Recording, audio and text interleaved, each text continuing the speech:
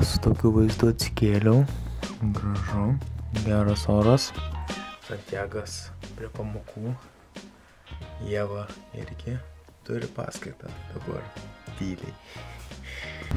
Nu va, į lyderį atlėkiam. Tikiuosi rasim telefoniuką kokį. Papigiai. Ir aš dabar vaidinu Jėvo sūnų 17 metį. Gal reikia prie šono užsidėti. Nes reikia per miso įeiti į parduotuvę. Ir galima žmogui iki, tarsi nepasimti savo vieną vaiką, nepilnametį. Galima gal daugiau vaikų, ar tik vieną. Vieną, man atrodo, vieną tą kompaniją. Nu, čia bus užrašyti. Tai va, šią minutį pajaunėsiu 9 metais. Jo, ir kalbėti lietuviškai padeda.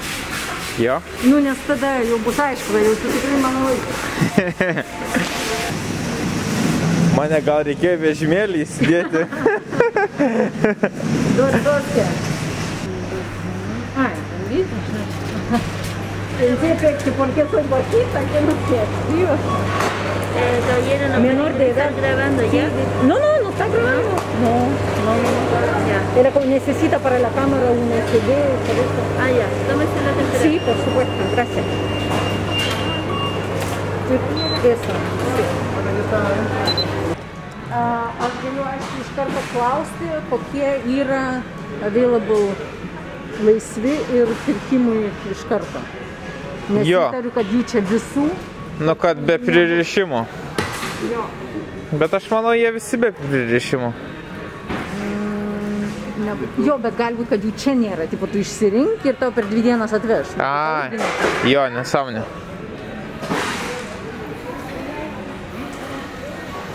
Panašu, LG turėjau. Ne kažką.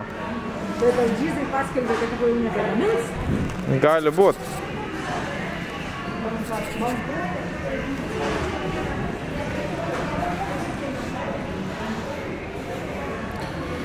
Samsungėliai. Kur iPhone'ai?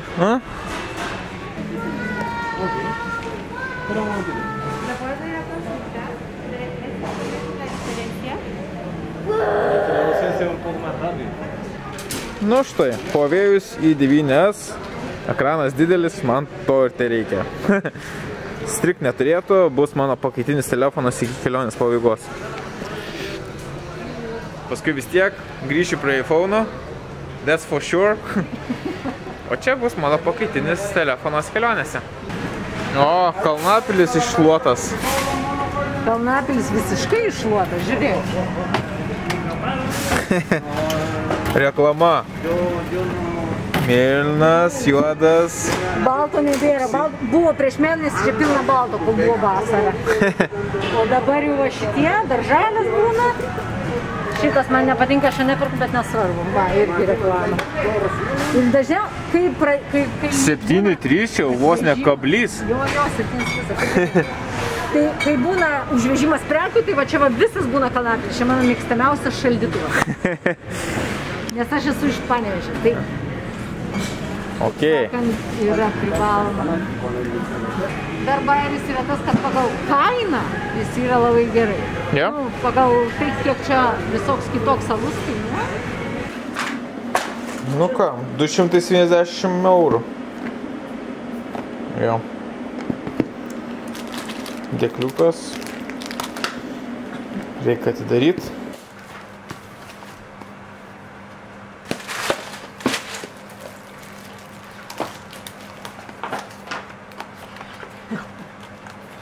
Čia kaip tie unboxing. Unboxing. Ne, pas mane. Lemački buvo dėkliukas viduj. Nu. Netyra, adatėlė netyra. Kai aš savo tą Samsungą pirkau, tai irgi buvo dėkliukas viduje, bet iš šaibom išėjo per mėnesį. Na, tai jisai tiek netarnaus mėnesį. Tiek nenaudos telefoną. Okay. Laidai praversva. Laidai labai gerai. O, net ausinukai yra. Naujas blogas telefonas. Neblogas gal. Nu, vis tiek. Taip. E, ha. Šitas dabar. Kur tas? Ok. Įsijungia. Veikia. Bam. Commercial for Huawei. Jo, pas čiliečius tai viskas, ir cukrus, ir druska taip pat. eina. Maksimaliai. Čia girdėjai apie įstatymą? Ne. Cukrus? Ne. Druskos mažinimo duonoje įstatymas. Jo. Duonai mažinti. Sus... Nacionalinis, sus... Nacionalinis susitarimas patvirtintas įstatymu. O nėra mažinti cukraus. Tie stikeriai juodi. Aha. Tai ten yra. Na, matai čia. Stikeriai. A, tai čia nais tipo low sugar? Čia ne, ne, kad low sugar. Čia altoinas cukaras reiškia daug cukraus. Nu, aukštas lygis. Tai čia kaip įspėjamasis, ne? Jo, jo, ir tu reiškia ir va čia du. Aha. O, čia yra kalorijos ir cukrus. O Aha. dar yra toks pat, kur e, sodio. Sodium. High sodium. Jo. Tai žodžiu, jeigu trys jau mirtinas, mirtina Tai dozė. va čia mirtina dozė, jo, ir tipo yra reklama eina socialinė visur, kad tipo rinkis maistą. Be su šitų. Kuo, su kuo mažiau. Nu, Kuo mažiau. neliepia, žinai, mm. bet su kuo mažiau. Ehm, Na įdomi. Jo, jo. O tai girdėjau. va šitas yra pagal įstatymą ir yra vienas iš ten gal dviejų šalių pasaulyje visam ir labai čia žymus, čia paperius rašo, Hebra iš, iš šito ten marketingiorai gyvena. Iš va šitų rekomendacijų, kaip įstatymų kažką gali ten paskatinti, tipo less calor, calor. Nu jo, sveikesnį gyvenimą. Jo. Tai va, o, o dėl druskos, ne, nėra, nu, vat išskyrus tą high sodium. Jo. Dėl druskos yra įstatymų paremtas nacionalinis industrijos susitarimas, man va tas tai yra nu, visiškas. Top of the top. Nu ką, telefonas beveik, beveik supildytas, o Renaldas pasirodė užtinės. Tai jo, susitvarkiau Instagramą. Ką visus kitus apsus irgi susitvarkiau beveik, ko čia man reikia. Dabar, kas iš tiesų beliko, tai visiems apsams pasikeisti slaptažodį. Nes pasijungiau per, iCloudą prie savo telefono ir ką aš ten pasidariau, ką aš uždėjau slaptažodį ant savo telefono, nes jie nebuvo. Ir uždėjau žinutę, kad žmogus įsijungęs mano telefoną galėtų pamatyti žinutę, tai tą žinutę ispaniškai parašiau, kad e, jeigu radot šitą telefoną, ta prasme, aš kopiau ugnikalniu ir pamečiau telefoną, jeigu jį radote, parašykite šito numeriu, numerį Indrės pridėjau. Tai va tiek ir, ir viskas.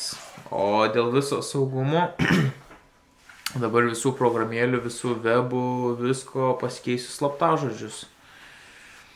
Na ir, ir viskas. Ir jeigu kažkas bandys atidaryti telefoną, tai aš iš karto gausiu notificationą, kad kažkieno rankose jau yra mano telefonas. Tai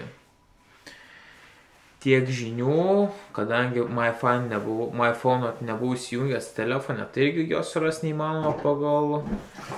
Paskui per Google dar bandžiau. Google'as turi įdomią timeline funkciją.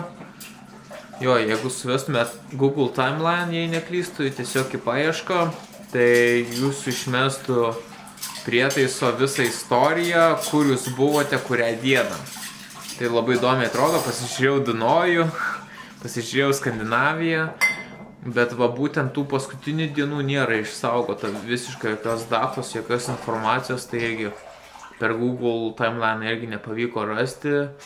Nu, žodžiu, bandžiau daug ką, ką, ką kiek pavyko YouTube pasižiūrėti, kokie yra tie būdai ieškojimo telefono, e, niekas nesuveikė. Nu tai tiesiog va, uždėjau slaptažodį ir uždėjau žinutę su, su kontaktais. Nu ir viskas. Dabar iki kelionės pabaigos pabūsiu su Huawei. Huawei.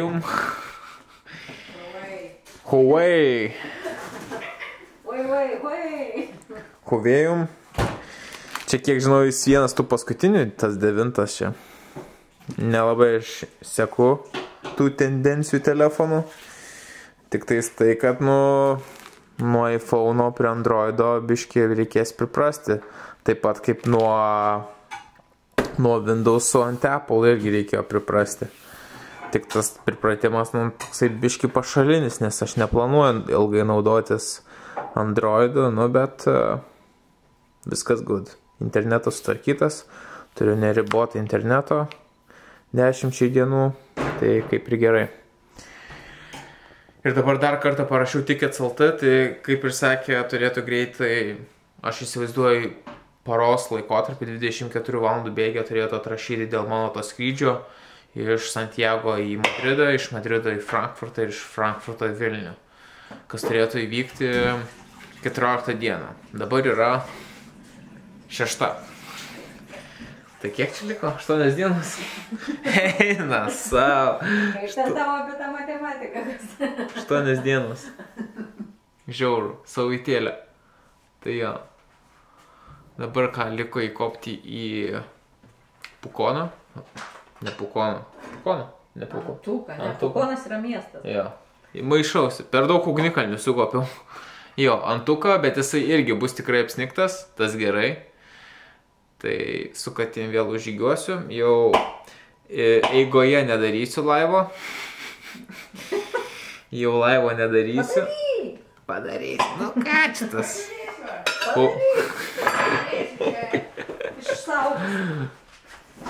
Pažiūrėsi, ne? Gerai. Like and share. Ir, ir bus 12 ugnikalnių. Ir tada reikia rašyti tiem dviratininkam. Atsimenat, kuriuos pavežiau dar kelionės pradžioje. Tai jie gyvena Lasarenai. O prie Lasarenos yra būtent pingvinų salelė. Tai reikia parašyti kaip kas kur, ar ten veikia, ar plukdina, ar neuždaryta, ar pingvinų yra. Bet kiek žinau, tenais yra pingvinai visais metų laikais. Tai tas gerai, nes čia nais jau prie, prie Isla Grande viskas, tik tais ko, iki kovo mėnesio jau, o dabar jau sezonas kaip ir pasibaigęs, tai ten nebepamatys pingvinų, reikės bet kokiu atveju vis tiek važiuoti 10-12 valandų į šiaurę, į Lasareną. Jo, tai. Ir manau, pingvinai bus paskutinis taškas, paskutinis dalykas, ką aš pamatysiu Čiliai.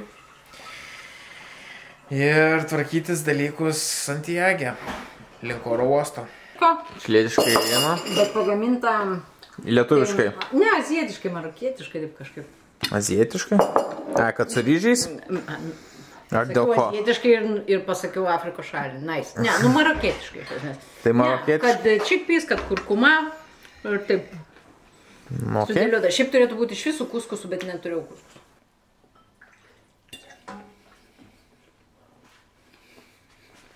Gera mėsytė. Jo, avinukas jau biški paaugęs, ne visai ėriukas. Pabrendęs.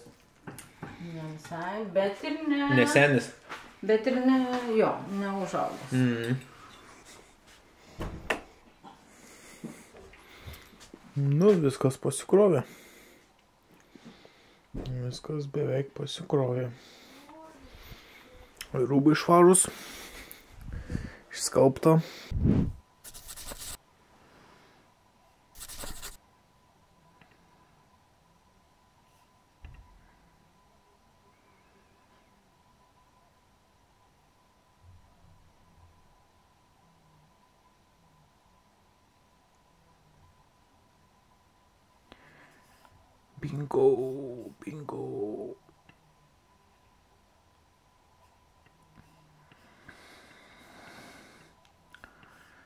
Štai. Paskutinis ugnikalnis. Antuko. Jo, forma panaši į Vilarykos. Tikrai.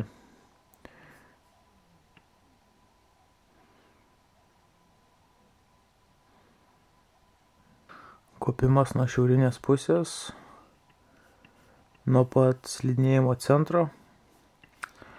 Jo, tai va, manęs laukia 3 km tokie. gan statoka čia, statoka žiauriai.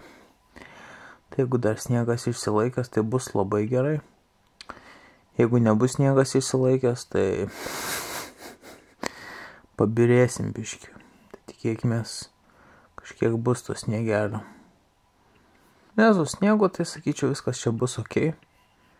Tai prasme, good. Su katėm patogiai. Krateris toksai, siaurutis. Irgi.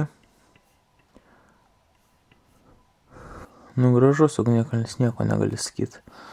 Labai taisyklingas. Dvyliktukas bus. Tai iki šito gražuolio man yra apie mm, 3 valandos kelio nuo čionais. Maždaug. Tai turbūt, kad rytoj vakare būsiu jau šalia vietos. Rytojaus vakaras yra ketvirtadienio vakaras. Ir penktadienio teoriškai parkas atsidaro nuo 9 ryto.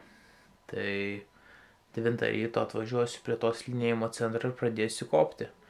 Jeigu taip pat sėkmingai seksis kopti kaip ir į džiaimus, tai įvertinkime, kad su, su nusileidimu apie gerą 7 valandos.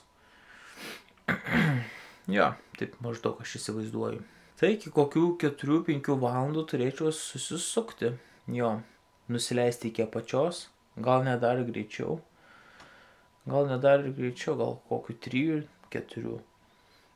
O kiek žinau, trečią valandą parkas kaip ir užsidaro, kaip ir turi išvykti, nežinau.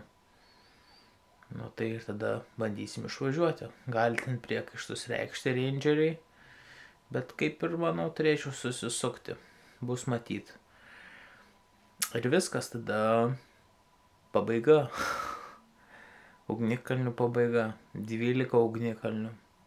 Per du mėnesius. Nes aš pirmąjį ugnikalnį įkopiau aš atskridau vasario 17, o pirmąjį Čaitę ugnikalnį įkopiau kovo 17 ar kovo 16. Tai realiai po mėnesio laiko tik tais mano ugnikalnių visas maratonas prasidėjo. Tai būsiu per, per du mėnesius sukopęs 12 ugnikalnių. Intensyviai, intensyviai pakankamai. Ir tada bandysim tuos pingvinus prigriebti. Aš įsivaizduoju. Tai va, rytoj pajudėsim link šito. Telefonas gautas, viskas kaip ir ok. Appsais instaliuoti, visi slaptažodžiai pakeisti. Dar valdymas taip sausau. Bet man daug to valdymo ir nereikia. Einu ilsėtis, gal einu dar kokį filmą pažiūrėti, nežinau, nelabai turiu progų filmums žiūrėti kelioninės kelionė intensyvi, tai va, dabar pasinaudosiu progelę, manau, kažką tokio linksmo. Tai va, ir jūs linksmai praleiskit vakarą. Sorry, kad kartais vlogus įkeliu labai vėlai, 12 po 12, 11. Tiesiog kartais taip gaunas ir labai sunku, kaip tik vasuras aš šiandien šnekėjom, kad tas laikas Lietuvos ant taip yra sudėtinga, kai yra 7 valandos skirtumas. Pradžiai buvo 5 valandos, tai dar su 5 valandom visai neblogai. Bet tada Lietuva pasuko laikrodį, tada Čilė pasuko laikrodį ir tada gavosi jau 7 valandos. Tai taip lemačiai kartais sunku tą visą laiką susiorientuoti ir suspėti visur. Ir tu žinai, kad pas tave dvi, o Lietuvoje jau devynios. O dar tu dar tik montuoji, dar kol įkelti. Ir taip kartais viskas nusikelia, tai 7 valandos yra tikrai nelengva. Su daily vlogais sunku, sunku. Tai va šiandien tokia paprasta dienelė, polisio. Ir matysime rytoj. Iki.